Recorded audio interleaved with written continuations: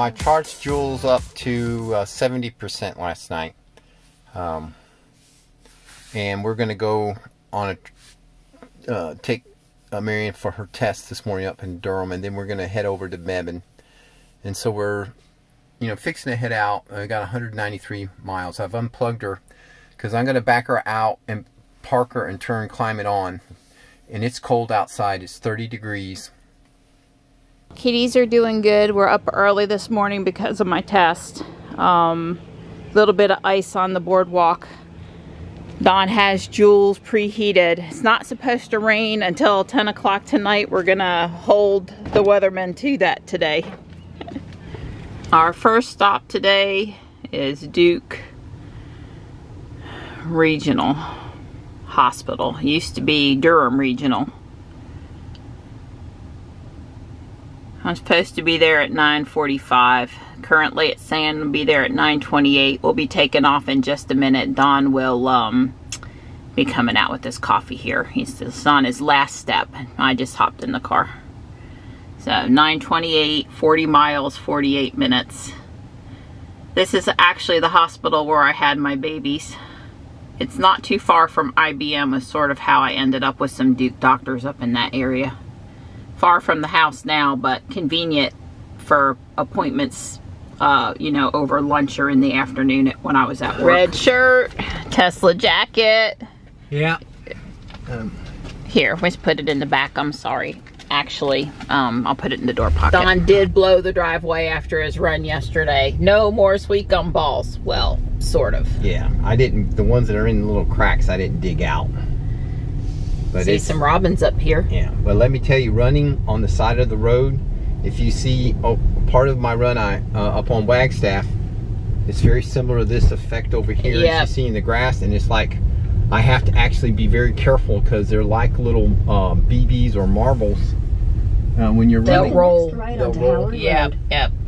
Well, I would have also blown the cul-de-sac, but well, we are going to have a little bit of sun today. I think officially the forecast was partly cloudy. We'll take it. We'll take whatever amount of sun it wants to give us.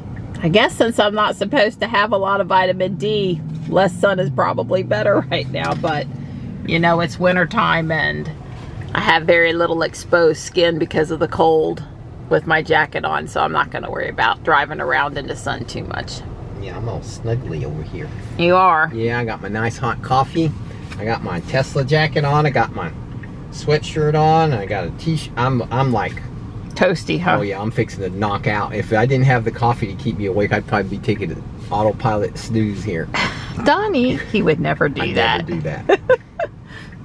He'd want to do it though. He's ready. He says on the interstate, especially, yeah. he's on ready the, for. On the call the other night with the Tesla owners group, we have a, a bi-weekly um, meet it meet up. meet up since on, we can't meet in person. Yeah it's actually kind of handy. Uh, um, and i said uh, i'll be glad to when they do the the level four when you get on like the interstate and it's quote legal for you to just let the car drive. I'll be i'll be happy for that and i think that's going to happen sooner than later. Yeah it won't be 100 percent of the interstate but certain stretches like you get out there here to wilmington. Here to will you know yeah it'll be maybe if it might have to be during the daylight or might have to be uh, during uh, not raining. not raining. I mean i get i understand all the stipulations. Yeah but um, anyway i look forward to that. And elon in the call with uh, sandy Munro mentioned that uh, about the uh, the geofence stuff. Uh, he did talk about that. When I came down up 55 to Apex Holly Springs, these lights here, they, not every, yeah, see we slowed there a little bit. The car keeps thinking that that is a stoplight, even though it's not in my lane and it's, but it's red and it's over there on the side. And I, I really need to understand from Zeb and full self-driving the real beta full self-driving if it's doing that because let me tell you you know you you're trained and the current level of the FSD beta that's that the fleet has, you're sort of trained, oh, I'm coming up on a stoplight, it starts to brake, you hit the stalk or the gas pedal, uh, excuse me, the accelerator pedal, old habits die hard. you're sort of trained, but when you're going down the road and there's no light in your lane, and all of a sudden you start braking for that light off to the side, it's really it's really annoying. Now this one is happening in conjunction possibly with the stoplight, so it's okay. But there are several of these U-turn super intersection turnaround things on 55, which God help us, I really don't think they're that great. Um, where you know it's causing the car to do this braking and i understand why it's doing it and i try to remember and of course i have the option of turning off the fsd beta but i don't want to do that so i'll just continue to complain about the braking and i'm sure it didn't do it every time but it did it most of the time like i know if you're in the left lane it oh, really yeah. sees those red um, arrows and yeah. again this is another example where we're right at the stoplight so it didn't really matter yeah, that was autopilot took us over a lane there. It sees that curved line through the middle of the intersection and it follows the line. And um, I actually, a year ago, let the DOT know that that was bad. Now, remember Sandy on the interview with Elon, yeah. he said, darn these highways, they got to fix this paint. And Elon's response was, well, the car needs to handle every situation and I don't care about the paint. I heard, I didn't That's hear him say, he, he, didn't say that. I don't care about the paint. Right.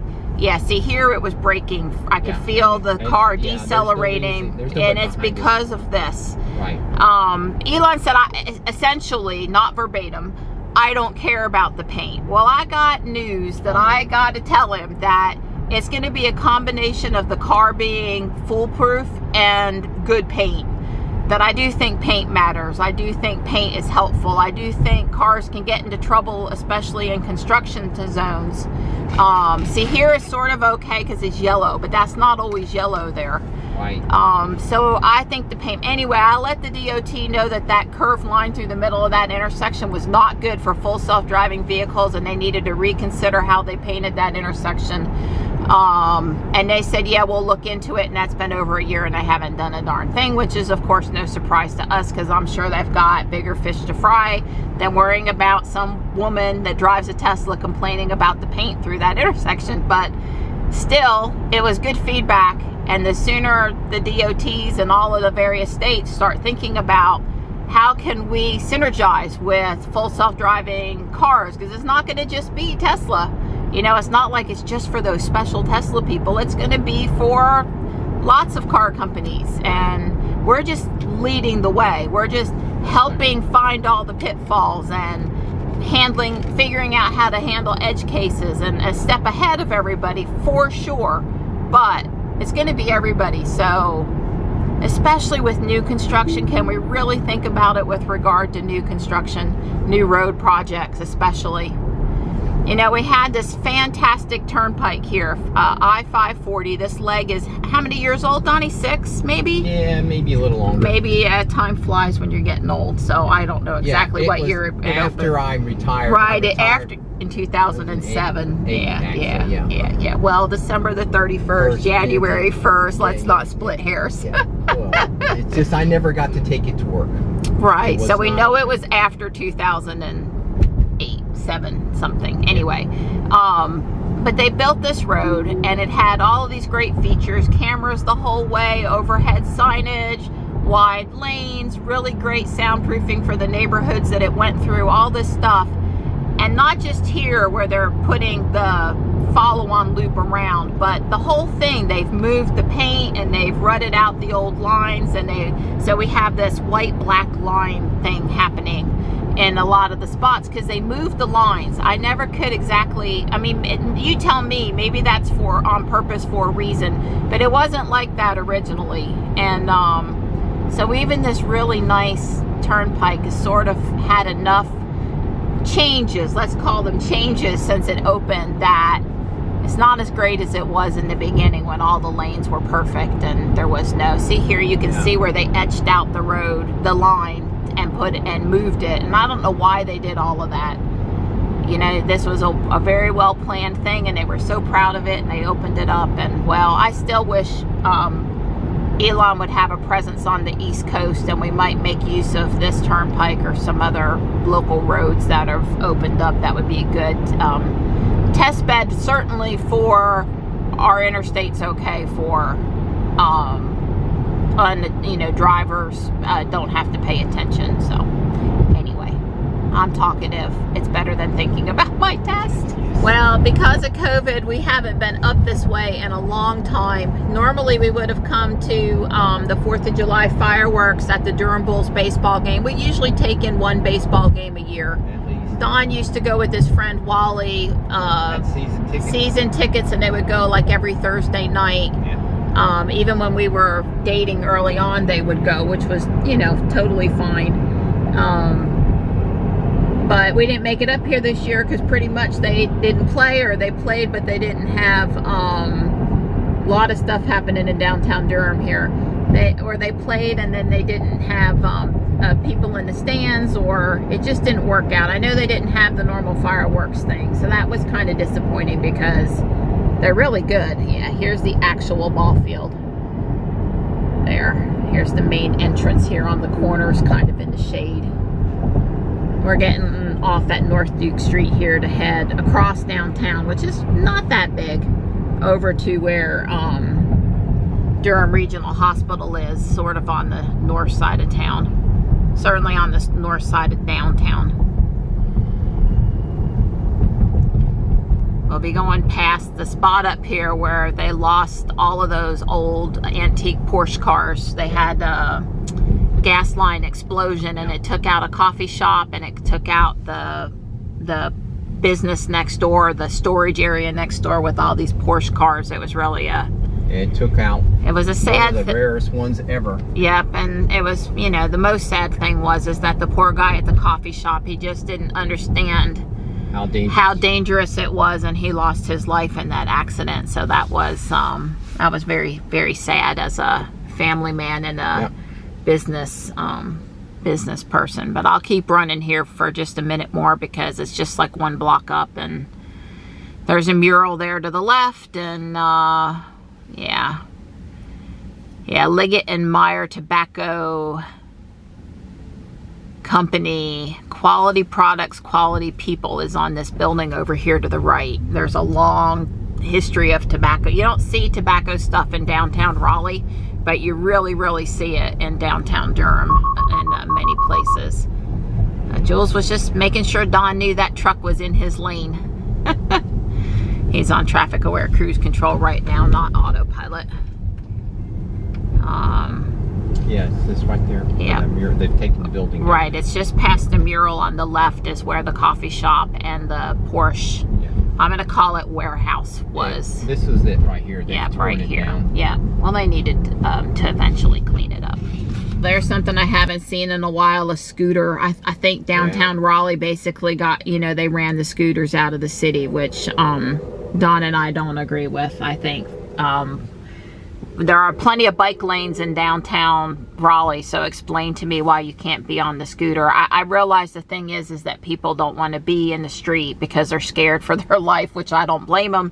So they end up up on the sidewalk, and then the people walking are upset about it. I don't know why we can't just all be reasonable with our movements and, you know, the people walking not be on their phone and pay attention, or if they're on their phone, don't be mad because somebody breezed by them on their scooter. Right. Um, and the people on the scooter going, you know, I don't need to go the max speed on this scooter if I'm up here on the sidewalk for a minute. I'll just, I know I'm sharing the sidewalk with pedestrians and I'm going to not go over, you know, uh, five, 10 mile an hour. So, I mean, I've been on the sidewalk with people walking and they're rude. They got their briefcase, they're walking fast, they're not paying attention to what they're doing. So, it's all about considering the safety of everyone and I don't know. I, I think we could have compromised instead of running the scooters out of town and I'll just leave it there. Plus they had this rule that you know, you had to be 18 to ride them. And of course, that rule was getting broken because the kids downtown that are trying to get to their school, they want to ride the scooters. Yeah. So, It's the young people. I don't- The old people, like always, the they lose sleep every night. and It just stresses older people out to know that young You people you? are having fun somewhere. it just burns their butt. Right. Well, I did have this one gentleman on his scooter who looked like he had was taking a substance he probably shouldn't have been, and he was coming the wrong way on a one-way street on purpose, trying to scare cars. I get it, and the police uh, the police hauled him off sometimes. Yeah, it's just showing you this lanes are narrow here and you're kind of close to the curb. But it's yellow. I've never Right. seen the yellow. It, it's always been yellow. It's just bigger than, and if- when they Oh. changed the fonts and spun this all around, Oh, uh, it's know. bigger in ruby and it's bigger in Jules. All The, the little yellow, these, it, it, the font is thicker, and I think the arch is also Okay. bigger. So you're seeing it more. I think it's drawing your eye more. Anyway, compromise. Compromise is good. Tolerance is good. These are things that, you know, during the year of COVID and stuff, I, I think we stepped a farther away from, and I would encourage everyone to embrace again. Tolerance and patience are good qualities. All right, I'm going to check in. I'll see you in a few minutes. Wish Don could shut the door for me. And the outpatient parking lot, they told us to park in the employee parking lot, so we're listening to instructions. They've added all of these tables. These picnic tables weren't out here before. Fully support people coming outside to get some fresh air and eat or rest or whatever. So instead of removing seats in this waiting room, they've added all these plexiglass dividers. Seems quite effective. Well, there's a Model 3. You can see Jules is just a little bit farther away. I survived. I was telling Don it was just a little bit shorter than I remember. Um, the two girls that handled me today, they were the right people for the job.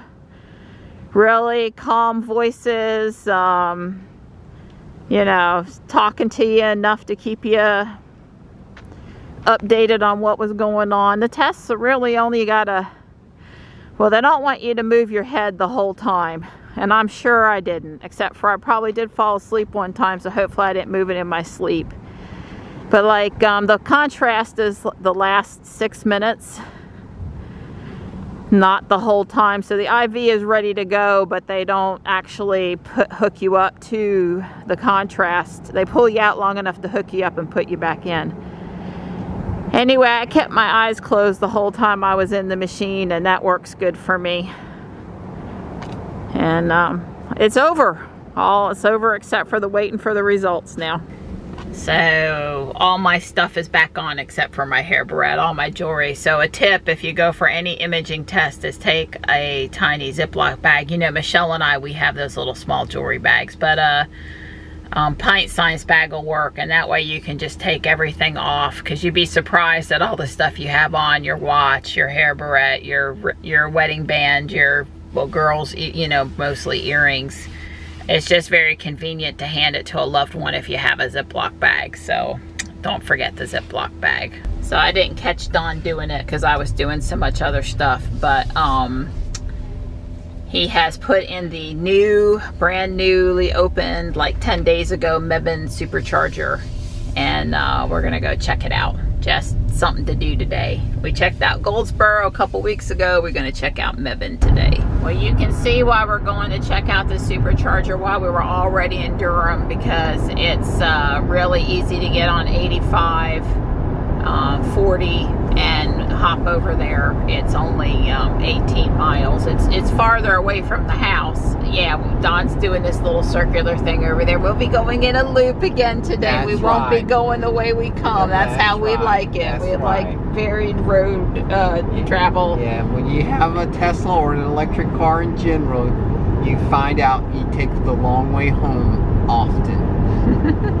Yeah, so now I'll be singing Supertramp in my head for the rest of the trip. Thanks, Yeah, Donnie. you're Appreciate that. Yeah. Long way home. Hey, Donnie, it's the exit with the outlets. Oh, Enjoy. Vera Bradley, probably the Croc store. See, Tanger Outlets. I didn't know that till just now. I've been to this outlet mall like one time before, and you know, back in the 80s, outlet stores were really outlet stores. N- Now, not so much. I, I- when I went here the one time, I didn't find anything I cared about. They used to have really good outlets over here in Burlington, uh, mostly textile and um, yeah, now I'm not. So you're going left instead of right. It's on the wrong side from the outlet, so I see the Sheetz on the other side of the interstate. Well, that's a bummer. Couldn't, well, Sheetz is good because of bathrooms and all that stuff, but couldn't we have had it with the outlet so that you could shop while you charged? Yeah. Yeah. Maybe Electrify America will go in over there and Yeah, and then that way when you need to do it in the middle of the night, you can deal with it. right. Well, you can go to Sheetz in the middle of the night and the outlet store in the day. All right. So, all right. So you almost made that turn. It's on the left. In on the left. 500 feet, turn left onto Brundage Lane, Forest Oaks. Oh, except for not to get back on the interstate. That'll teach you to listen to your wife. Yes, thank you, sweetheart. Oh, no. You did good, sweetie. Oh, Well, we I'm might so be sorry. lucky, and Kyle, sorry. if you're willing to walk across this heavily congested road, um, you can get to your Starbucks. Probably just go to Starbucks first and then go to the go to the Sheetz. Cause I don't. Well, I do see the ability to press a button on the side street over here, but I don't see it on this side. So I don't know how helpful that is or isn't. But there is at least one Now turn left try to help people Lane. cross the street. Chick-fil-A, I think it'd be safer to get to the Chick-fil-A. Okay, I am Now not turn left. thinking about a frosted coffee. I am not. You can see the chargers right here. Yep. There's a white Model 3. Yep. Now you have arrived at your destination. Lots of bays for the two Model 3s. Yeah. Like I said, a lot of tanks. All right. It's ramping up. I don't know that we're going to get much here, but it might. We are um, probably have too much. We're probably okay at 30%. All right. 136, 138, 139. 139 kilowatts. 136, 134. So I think that that point is we're uh, we're good. Let me see what we got. I don't know what I got my limit set to. We'll do it 80. It says 25 minutes. Yeah. So anyway, it was preheating the battery all the way.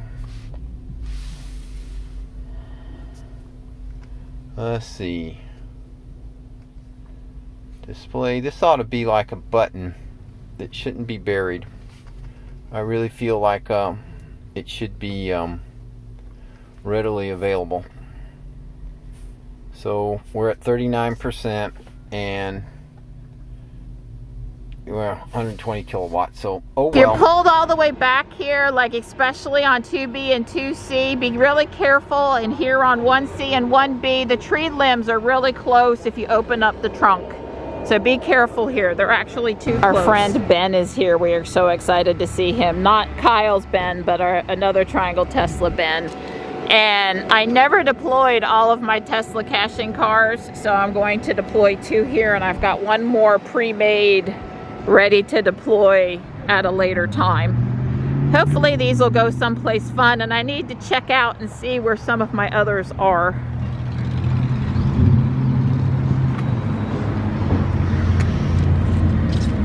Ruby and my Ruby red dress are getting deployed today.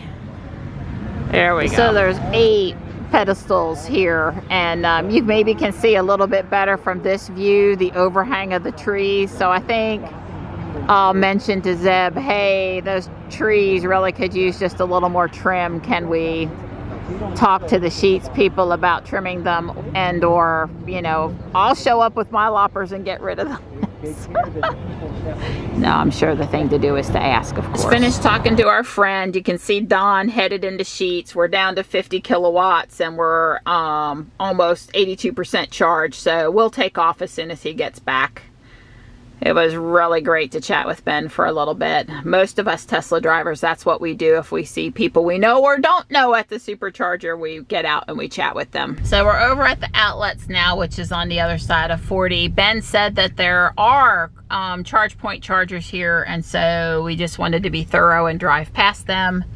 They are um, sort of near Express, if you're familiar with that store, the layout of this outlets. It's kind of amazing how crowded the outlets are. I mean, it's like really crowded.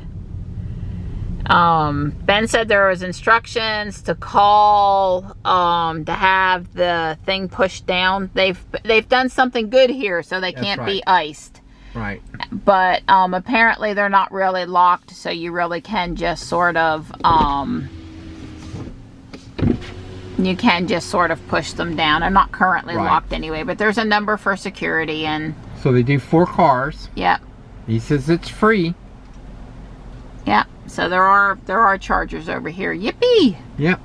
I like the idea that it's nice that they put those things because electric car people who really need to charge are going to do, you know, do what they've been told, even if they have to wait for security. Right. But, you know, an ICE car person seeing that, they'll just drive by. Right. Um, they are pretty close, Oh, as you yeah. can see. Yeah. Which honestly, us um, Yeah. us EV people, we never ask for them to be close like that. Up there, way where there's actually some space, um, and and it's not full, that'd be just fine. We don't really like them when they put them uh, where they can get ice too easy. We don't expect to have a Front row parking. front place. row parking spot. We just are really happy when they're a charger. So please, future editions, let's not put them so close that people are tempted to ice them. So we went um, a little farther west from that exit. I guess one exit up maybe. Yeah, and we're one gonna take 119 and then um something else down to Pittsboro. Anyway, we don't want to go home on the interstate. We're going to go home back country pretty roads. We've done this a time or two before, but not recently. We're just not trying to, you know, we're no rush to get back to the house. We have time for a little country drive. I think this may be our first time in Saxapahaw, North Carolina. Well, that place is jumping. Yeah, it's a brewery. Oh. See the little tank there? I didn't catch the name of it, but it's a brewery. And those, that's the River Mill apartment complex. And obviously that is the heart of Saxapahaw. This looks like, uh, I don't know. That was kind of an interesting building up there. Community center. Compassion, love, understanding, huh? Oh, wow. Very pretty. That must be the Haw River. I don't know that for a Yeah. fact, but I'd be willing to bet that's what it is. Whoever was honking, it wasn't at us. Assume we had nobody behind us, yeah. Jules. yeah, Saxapahaw Island Park is what this is.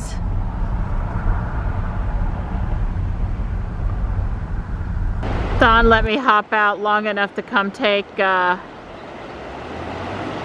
pictures and video.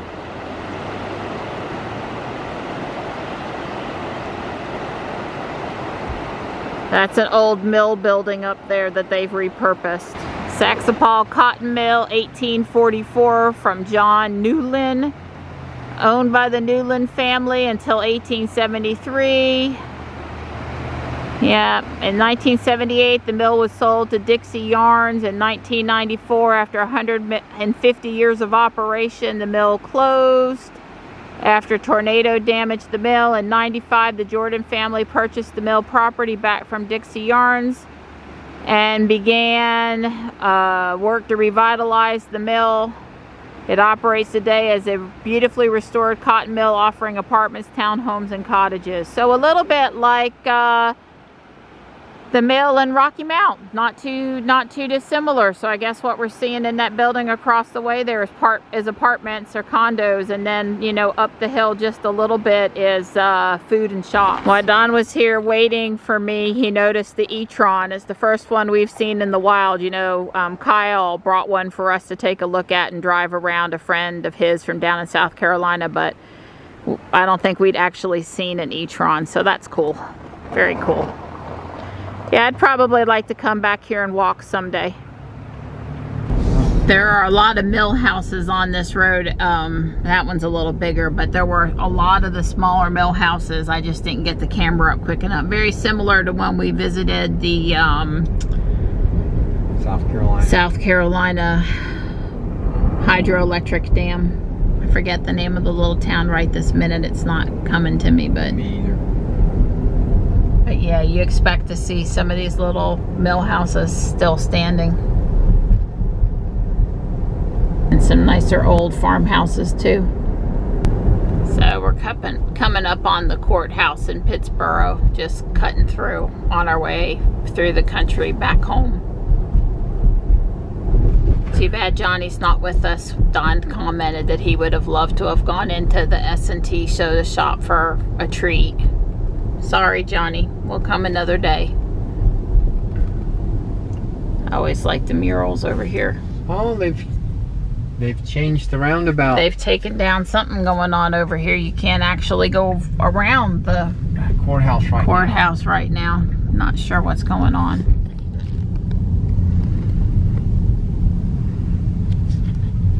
Yeah, not sure what that project is all about. This is the important part of Main Street here with S&T being up here on the left. Yeah. Maybe someday we'll go back to S. Well, maybe by Johnny's birthday in June, it'd be safe to come over. We'll see. Well, certainly for takeout. I'm sure he would like that. Yeah. Well, hopefully they'll stay in business. Something tells me they're going to be just fine. Yeah. Well, every time we've come by, they've been doing good takeout business. I so. agree.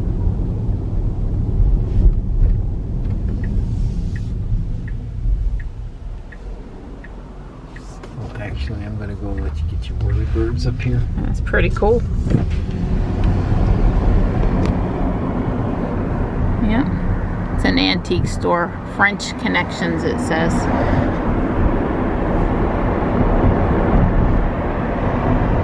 Yep, there's the courthouse. Well, hopefully, whatever they're doing, it'll all be better after they're done. Yeah, well, I certainly don't want them to lose the nice roundabout. It was always pretty cool. Yep, I agree. Looks like I see sewer or water line over there. Yeah. If I had to guess, that's what the roads tore up about. I always smile when we come over these uh, railroad tracks here by the paper plant because um, when we had Sapphire, I may have taken that track uh, fast enough that we were, you know, just a little in the air going over the track. You think? I think I might have been ready to fly. Yes. Yeah, see, paper plant. yeah. North Carolina's got a lot of pines and we got a lot of pulp plants.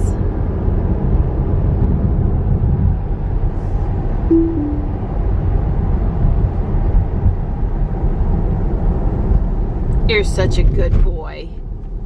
Taking care of your car. That's right. Oh we got our dish equipment box dropped off at UPS and now I'm running into PetSmart. Don's let me run a couple errands while we're out and it's, you know, convenient I get door service. It's not quite as good as with Ruby where he could pop the door for me, but it's cl it's close enough. Goodness gracious, you know, I'm just all day today I've just been nothing short of amazed at the number of people out and shopping, I guess. I, you know, people don't shop during the work week, but goodness, it's just five zillion tons of people out here. It's like Black Friday parking lot. Well, we're glad the UPS store now has Saturday hours. We appreciate that.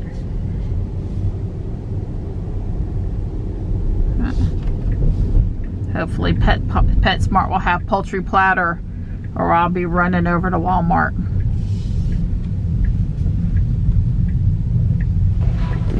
Thank goodness they had two cases plus nine more cans.